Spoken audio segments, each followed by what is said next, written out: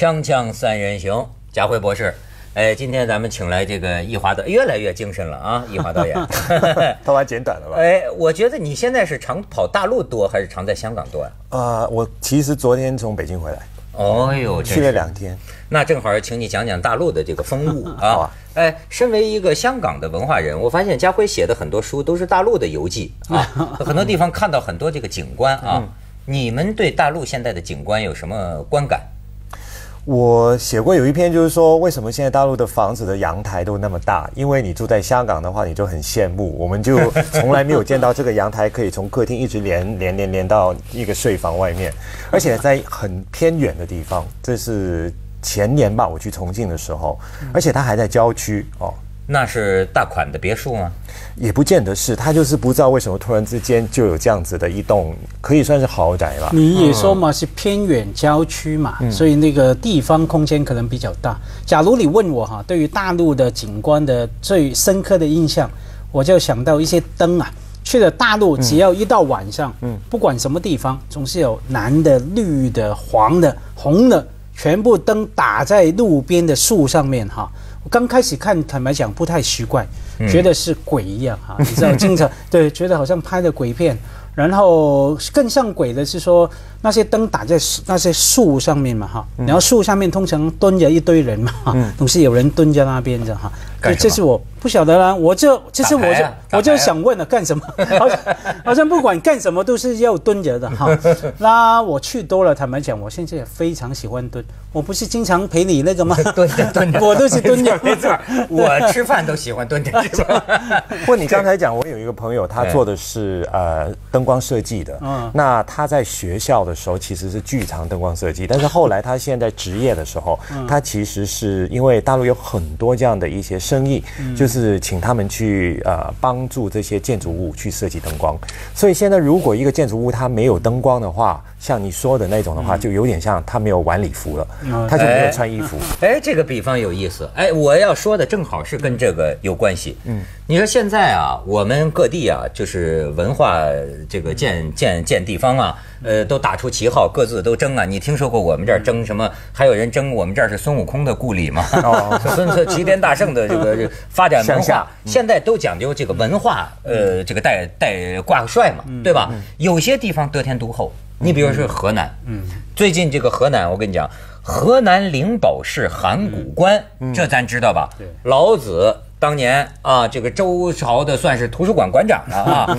这这这，老子当年对这个世道感觉不跟你们混了，骑这个青牛，西出函谷关，最后幸好把关的这个海海海海关的这个关长说你不能就这么走，这么大学问，总得给我们留下点东西。好，写了五千个字儿，老子《道德经》，然后不知所踪嘛，那和这故事。所以这个函谷关，人家就找到老乡了。嗯，所以现在好像花多少钱？哎。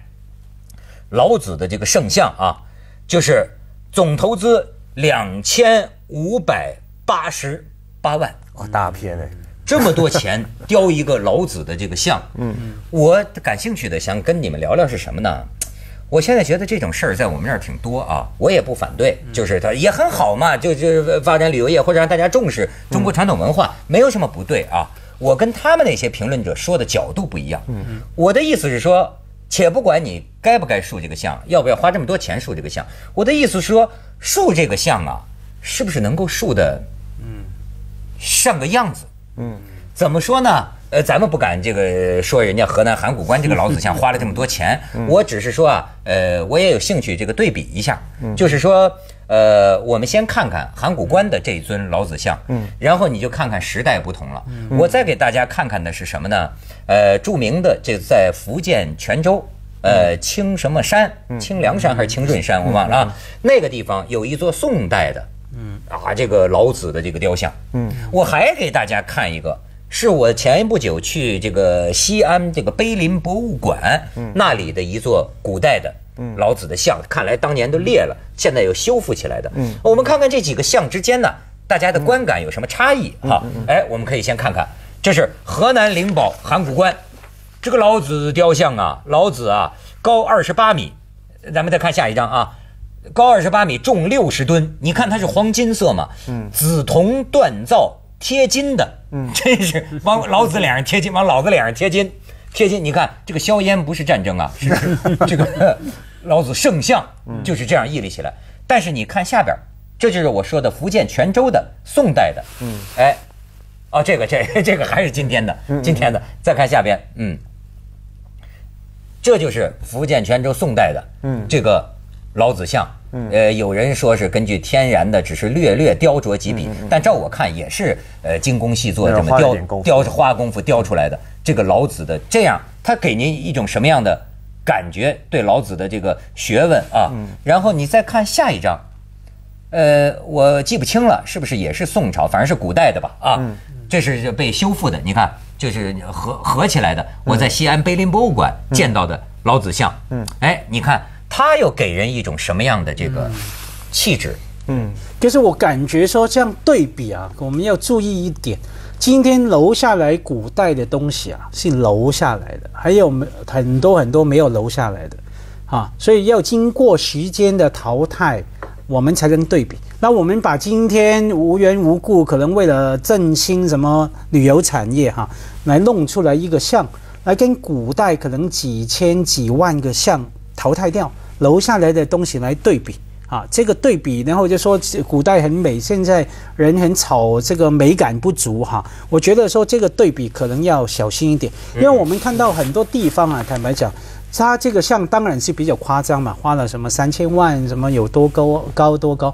可是很多地方啊，像我去广州，还有我前去年去了湖南，什么经过一些小的社区，蛮好玩的，他们都有一些小的像哈。不一定是孔子，不一定是老子，也觉得真的很有美感的。嗯，以后经过两百年后留下来的，可能就是那些小的像。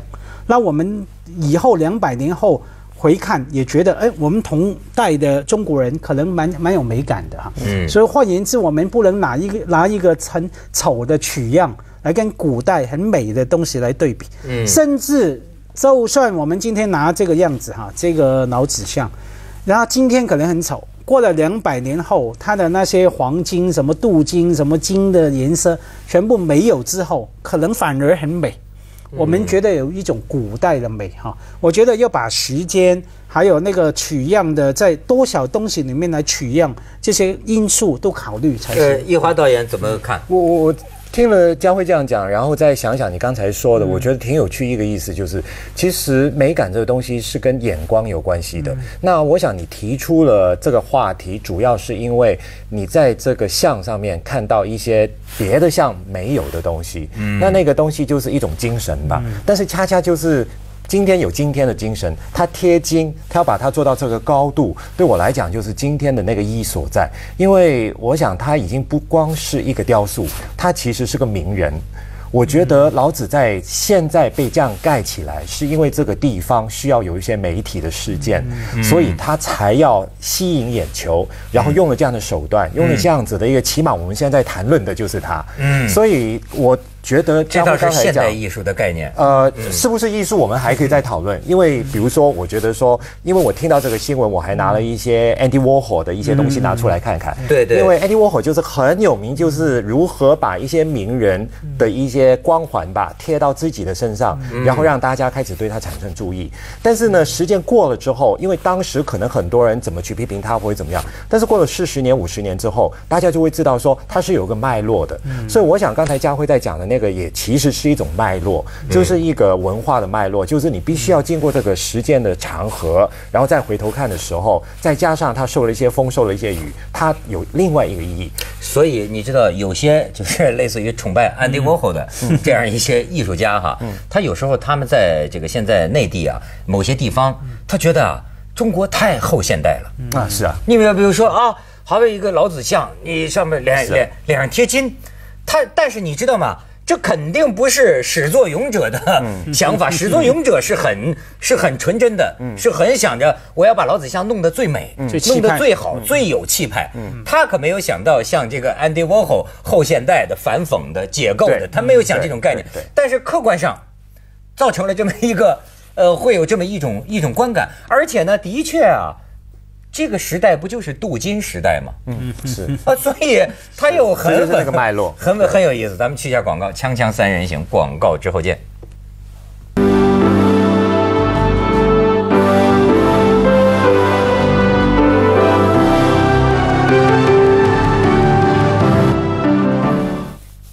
我觉得家辉啊刚才提出了一个就是我觉得在当今这个年代啊很无奈的一个事儿。什么事儿呢？就是说你看我呃，就是我有一个好朋友，我觉得是我很尊敬的一个画家刘丹啊，他曾经讲过一句话，他说这个造型是文明最重要的一个表征，就说你什么文明拿造型出来看，你看埃及，咱就知道那是什么造型，古希腊什么造型，对吧？那么好像我有个无奈，就是说今天的中国到处都在盖庙，嗯，大兴土木，很多这个庙，可是啊，我都进去也拜一拜，嗯，可是为什么要照佛教来讲，我就是业障太重，你知道吗？我就说啊，我有个挑剔，嗯，就是我就跟跟这个像啊，不让我产生恭敬心，嗯，可是我也明白，就是说，呃，今天的造像，你叫叫叫佛像，嗯，你跟古代那你达不到。完全是达不到的，这你因为你我我的眼睛可能我的这个标准是我在博物馆里看到的佛像，你让我到你今天花几上亿盖出来的这个佛像看上去，我有时候看着像个胖娃娃，我就觉得这是是在干什么？这这，所以我我我我可以给给给给你们提供一个一个比照，就是形成我这种别扭啊。呃，我在博物馆拍到的一些佛像，呃，咱们可以分享一下啊。呃，你看，这也是我在西安碑林博物馆拍到的，这应该是隋朝的啊。这不是我，我也不懂啊，差不多，反正是 那个年代这菩萨啊。你看这个这个给你的观感，你看，哎，这就是西安碑林博物馆的这个造像。你看最右边的那个衣袂飘飘的这个感觉啊，你再看下边，哎，这个是我在纽约的大都会博物馆拍到的，他们 弄的咱们的东西。哎，大，你看弥这个这个大肚弥勒佛，嗯，你瞧这个衣服。这个这个这个啊，这个这个这个，哎，咱也不懂了，快 往往下看 啊！哎，你看这种美态造像，我不懂这是不是应该是唐代的这种丰满的啊？来，呃，我再看下面，哎，你看这种佛头啊，哎，这都在美国的博物馆里。然后你再看，看下边。这个应该是这个这个北北北呃北魏的吧，还还还是什么啊？嗯，差不多北朝的，反正是。你看，再看下边，哎，这个是波士顿的一个博物馆里，是人家说是镇馆之宝啊，他们拿咱们这个当镇馆之宝。但是这个雕的这个像啊，佛菩萨的像，你再看下面，哎，你看这个多美啊！你看这个这个腿呀，这个手啊，这个神情啊。我就是在大都会博物馆见到的，我觉得这种美啊，要必须提提醒哈，不管在大英博物馆还是什么博物馆看到的东西，它哪里来的呢？很大一部分是从收藏家手上拿来的、弄来的、捐出来的、买的什么等等。收藏家为什么会收藏这些呃佛像呢？一定他们也是千挑细选。不晓得淘汰了多少的东西，才收下最美的东西。那所以当然是美的啊。那所以我意思说，每一个时代，除了它有它美学的审美的标准以外，哈，就算用同一套审美标准之下，也有高低手的差别。那经过时间淘汰，我们现在能够在博物馆看到的。当然是最美的部分。呃，这个艺华导演，我就想问问，你觉得你也是搞这个现代艺术啊？嗯，怎么解决这个矛盾？嗯，就是比如说，事实上我们现在在复古，很多庙宇，对吧？也是人民群众需要。但是呢，你的这个模式都是在模仿古代的，比如说西方三圣，这个你还是模仿古代的像。可是你现在的这个水准呢，完全达不到。那么这个东西该怎么办呢？你比如说，好像说我在台湾也算见到一种像中台禅寺，它那个呢，索性我就弄个现代的。嗯，你进去就不像个庙。嗯嗯哎，你你觉得怎么解决这个问题呢？我觉得很好玩，是因为刚才佳慧也提到到呃外国的美术馆去。其实很多时候，呃，我们现在对艺术这个概念，大部分人还是觉得西方的影响很大啊，所以西方永远都好像是从很多角度都优于我们现在看得到的，就是我们只能做很多后现代的，但是真正的现代这些东西，好像我们还没有搞得很就是很出色。为什么呢？我觉得所以说这跟想象力有关系。或许它也跟另外一个历史有关系，比如说我举个例子，素描。现在有多少人会拿一个佛像去素描呢？你不会请一个模特儿回来，然后叫他摆这样一个姿势，然后就来 让学生都在素描他。嗯。但是呢，如果你说希腊的英雄，或许对人体的一些美的欣赏，在任何一个艺术学校。现在都有这些课程，所以学生是通过这样的练习，加上他们的想象，变成说又有故事。几个东西一结合的时候，它是有生命力的，它是不只是一种敬意，就好像家辉刚才讲的。所以，也许我们的现代艺术这一块，很大程度上面，从我们的文化当中，除了敬意之外，我们还找不到自己跟他一个比较个人的一种连接吧。其实就是我的想法很简单，就是说你不管做什么，它竖在那儿就是个景观，嗯，他这个人的眼耳目就受到他的沐浴啊，对吧？那么花了那么多钱。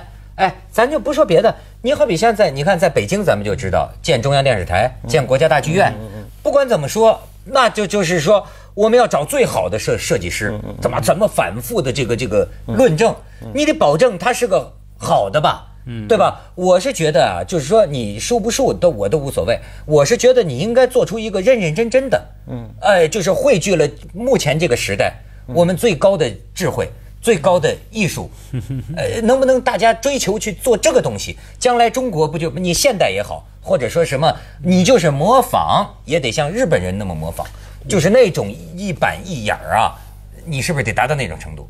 我有一个英文字，我常常不知道应该怎么翻译，我想请教一下佳慧，就是 sophistication 啊，这个字很难，精致吧。精致是吧？它，但是它又好像不只是精致这个意思。对，因为比如说你说日本，举个例子，就是它有一些庙，看上去一点都不像庙，它更像一个现代美术馆，因为它懂得运用空间，优雅，可能是优雅、精雅。它有很很深沉的一些学问的一些根基在里面，变成说你一个人走进去的时候，你突然之间并不是被它的这个所谓的这个精啊，或许这个高度啊这些东西吓怕了，反而是你觉得说你在这边好像有一些东西在跟你说话。有时候启发，那这个启发你是能感受得到的，只不过你不可能就是说马上就好像看图识字一样，就知道说啊，他是要我知道一些什么。那这是文化一个很重要的，对我来讲的一个力量。哎，锵锵三人行，广告之后见。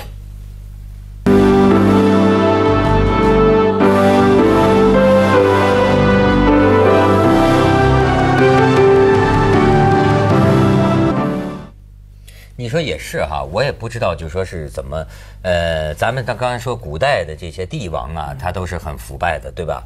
在 就是说，你看啊，集中全国的这个资源这方面，我们现在你比如说，现在有些说花三千万竖一个像，恐怕你仅从这规模上看，也是集中了很大的这种资源吧。嗯。但是同样是这样相比，你看为什么啊？这个古代帝王。他几？你比如说，我去印度啊，我看着他们那个陵，那个陵墓啊，那个没人不能不惊叹。老实讲，真的，你也别老吹吹中国的牛，对吧？哪个民族都是这个灿烂文化，但是这种灿烂文化，你发现没有？很多原因跟他这种他是帝王，然后呢，他要建他的坟，建他的坟，他就集中了全国最高的艺术水准，各种水准。你包括什么法国巴黎，这这都一样，埃及金字塔，对吧？哎，但是他确实能达到这个高度。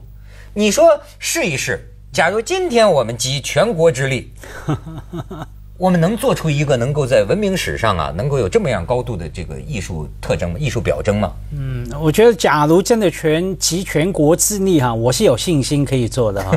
可是问题是奥运会啊，张艺谋开幕式，这是咱们的，是吗？那除了那个还有很多了，就像我们刚说北京最最近几年哈，不仅是北京了，其实上海很多大型的建筑哈，我们都觉得说，甚至公共的建筑都觉得非常不错的哈。呃，拿去全世界其实也没有太差哈，因为像最怕是说地方性的啊，地方性的，因为它做得好，不仅没有好处啊，还可能会受罚。因为他做得好的话，也不一定能够吸引游客来嘛。大家看不懂，反而不不来嘛。他一定要做一个最金碧辉煌的、最能够吸引最多老老百姓来来买门票来看的东西。他反而呃随便来做一下，反而获得好处哈。所以说，最怕地方这个的层次哈，没有什么监管，没有平衡。像我经常说，比方说我们在美国生活久了哈，在一个地方一个 community 一个社区来住。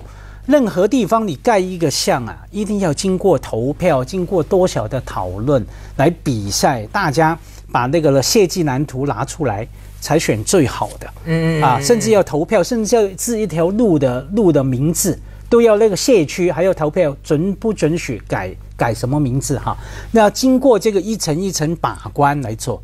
地方的层面是没有把关嘛。谁有钱，财大气粗，谁说了算啊？那做，我觉得说令人家担心，可能是这样子哈。你觉得呢？我觉得呃，建筑就是一个文化的呃一个城市的一个名片，所以我自己做戏剧的，我就很关注每一个城市现在在内地其实都有一个很大的剧院，或许超过一个。是是是。所以这个就成为我们的焦点。所以像这样一个像，它当然也是达到了一个我们说的，就是突然之间。就多少人今天可能都在讨论它了。那问题是这样的一个效应，它消费过了之后，它接下来它还可以发挥哪一种效应？所以我觉得这个名片这个东西，因为是一个名人的时代，所以变成说今天这个老子站在这边，不见得他真的是个老子，他其实是一个名人老子，他其实是个金子。对，他不是个精神领袖，他是个名人。哎，这个东西，呃，这个也是现现代社会一个很有意思的现象啊，就是说，呃，变成一个符号，嗯，对吧？实际上，符号后头的东西啊，不大关心。对，你比如说，如果真的说是老子，那老子是讲究无为啊，嗯，什么损之又损，以至于无啊，嗯，你在他身上怎么能贴金子呢？对，对吧？这是，这这个这个就就就很奇怪。对，你这样说起来，所有庙佛庙都不应该收钱。现在中国哪一个佛庙不收钱？我去了中国旅游，其中一个令我更最生气的地方是去拜拜神嘛。接着下来为您播出《珍宝总动员》。结果呢？哇，列账太深。